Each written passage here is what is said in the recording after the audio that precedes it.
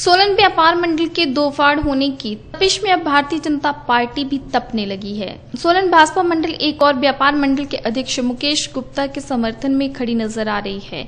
भाजपा सोलन मंडल के अध्यक्ष रविंद्र परिहार महा व्यापार मंडल के अध्यक्ष कुशल जेठी से अपने सभी नाते तोड़ लिए हैं और ये घोषणा की है कि वह कुशल जेठी भाजपा के नाम का दुरुपयोग कर शहरवासियों को भ्रमित कर रहे हैं। साथ में उन भाजपा कार्यकर्ताओं को भी चुनौती दी है जो जो जेठी के समर्थन में उनके साथ चल रहे हैं। यहाँ तक कि उन पर कड़ी कार्रवाई करने के संकेत भी दिए हैं, जिसको लेकर भाजपा में अंदरूनी कलह शुरू हो चुकी है।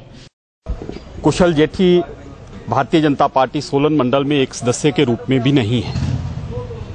और उनकी जो कार्यशैली रही है, उन्होंने पिछले चुनाव अभी जो 2017 में हुए हैं, उसमें जिस दिन कांग्रेस का यहाँ से शपथ पत्र निकला है, उस दिन उस टीम में वो साथ थे।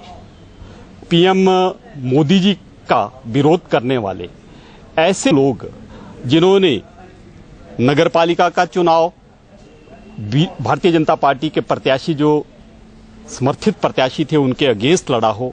व्यापार मंडल का चुनाव, जो भारतीय जनता पार्टी के डिक्लेयर्ड कैंडिडेट थे, उनके अगेंस्ट लड़ा हो।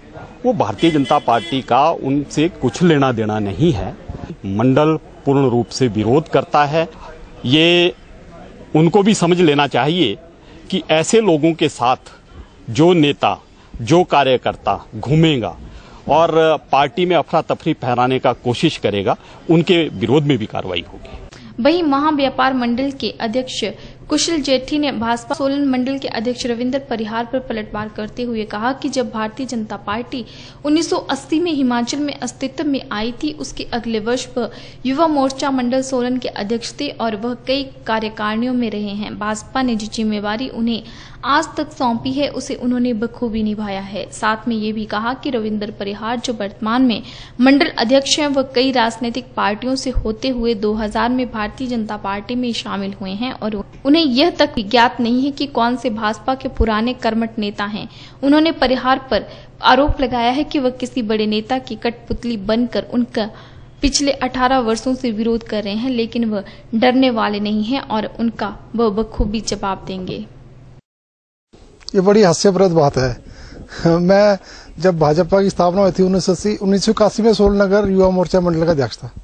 उसके निरंतर मैं पार्टी ने मुझे जो भी जिम्मेवारियाँ जिला स्तर, प्रदेश स्तर पर थी उसकी मैंने निष्ठा से निभाया।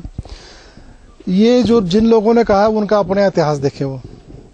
मुलायम सिंह यादव की पार्टी, कॉमरेड, सारी पार्टियों से होकर किसी नेता नेता की चाटुकारता करते हुए भाजपा में, इनका 2000 में प्रवेश हुआ।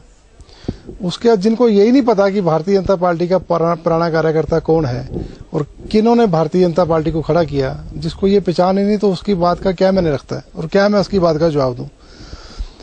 मेरे को सिर्फ़ इतना ही कहना है कि ये जो बौखलाट है, जो उन्होंने कहा कि भाई कुशल जेठी ने अपने स्वार्थ साधे पार्टी हित में, मेरे को एक भी उदाहरण दे दे कुशल जेठी ने कभी पार्टी का मिस किया हो। उन्होंने कहा कुशल जेठी ने दुष्प्रचार किया। एक उदाहरण दे दे कि मैंने कभी पार्टी के खिलाफ काम किया हो। सरासर झूठ, गलत।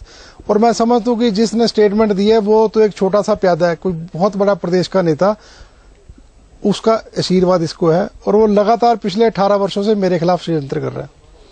मैं एक छोटा सा कार्यकर्ता हूँ, भारतीय जनता पार्टी का। उन लोगों के पास सत्ता है, संगठन है, पैसा, सब कुछ है। लेकिन फिर भी मैं उनसे डरने वाला नहीं, मैं मुकाबला करूँगा, लड़ूँगा और उनको अपना स्थान दिलाऊँगा। हम भारतीय जनता पार्टी के थे, हैं और रहेंगे।